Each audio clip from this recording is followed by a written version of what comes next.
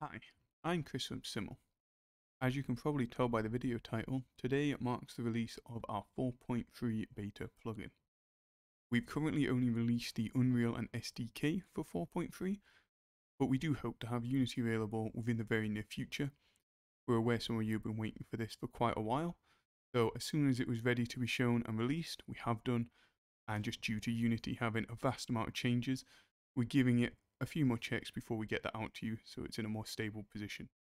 And we will, when it releases, have a video covering the changes and updates done to bring the Unity plugin back in line with its Unreal counterpart and how we intend to keep it that way. In this video, however, I will be covering quickly some of the new features that came with this update, as well as some of the improvements and changes that you will notice when compared with the previous releases.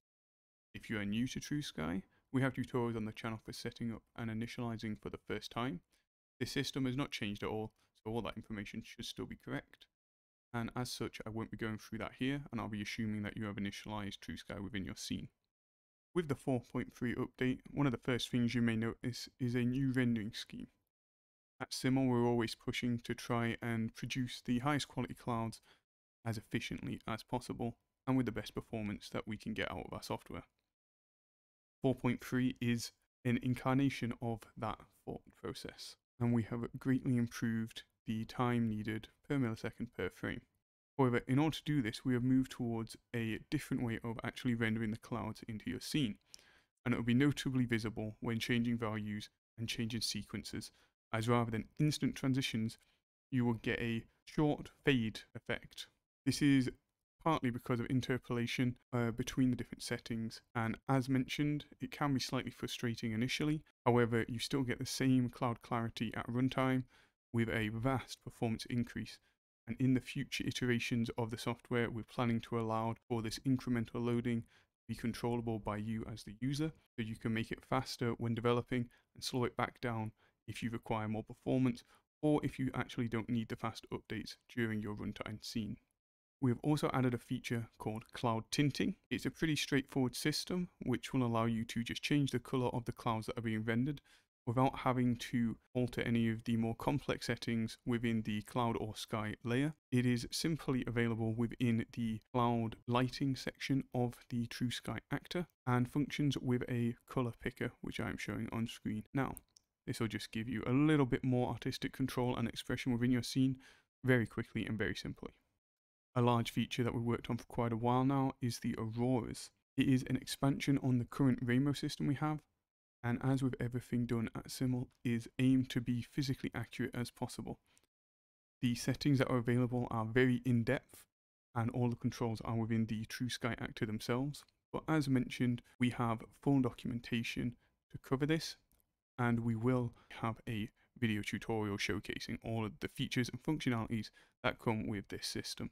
A shortened version of how to get this to work though, just for initial checks, is you will have to move your latitude and longitude of your scene towards the poles, which is done quite simply within our TrueSky actor. And then altering time should cause them to appear.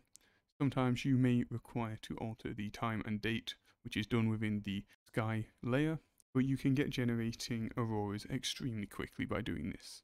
Auroras are something that we do plan to incrementally update and improve upon, and we have a few planned for our future releases.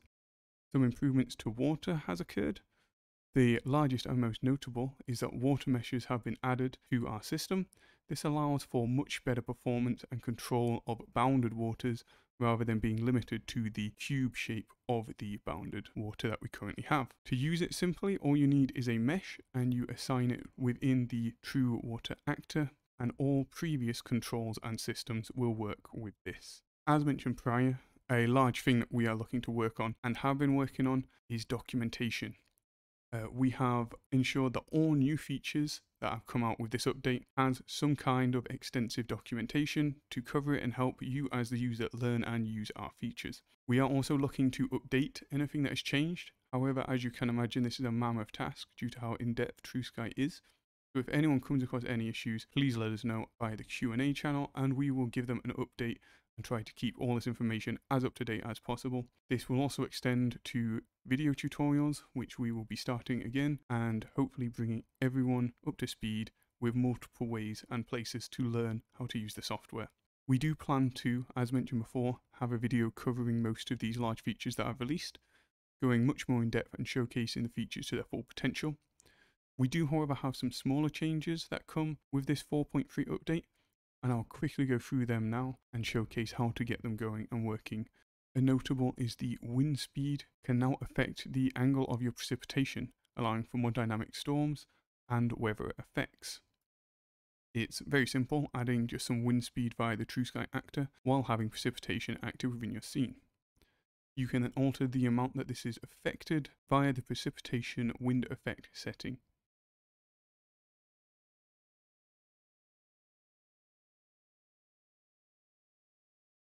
We have added the naming of layers to our sequencer, which is a fairly simple thing, but allows a bit more clarity and easier organization for you as a developer when creating cloud sequences as you can now edit a setting and then label what that current layer is doing. We brought a few blueprint improvements to the Unreal Engine version. One of the most notable ones is the ability to create and delete new layers and create and delete new keyframes at a set time from your current position.